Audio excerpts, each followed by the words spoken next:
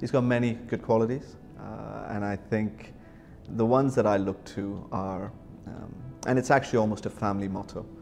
We talk about passion, we talk about ambition, and we talk about humility. Uh, those are three core components, but for him personally, I think his faith is incredibly important to him.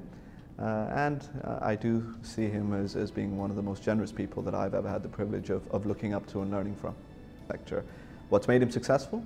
Frankly, he has had an incredible instinct and insight for our business.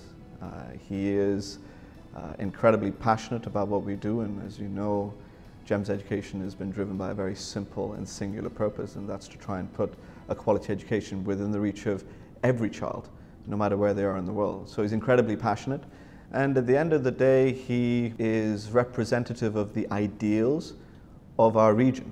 I mean, we've had the privilege and the pleasure of uh, seeing leadership that is ambitious, that is bold. And naturally, he has taken a cue from that because this is where we've grown. So remember the adage, uh, impossible is nothing?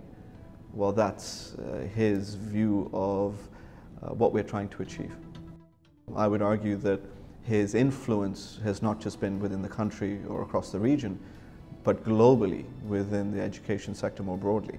Um, he has this very famous saying, whatever the question, education is the answer. And to give you a sense of what that means, it is that for all the challenges that we see in the world, if we can address education and we can solve that challenge, then we can fundamentally improve the state of the world. When I think of our beginnings, the fact that he has effectively built something and something of substance and something that is truly impactful from nothing. Uh, I think that is something that I'm really proud of.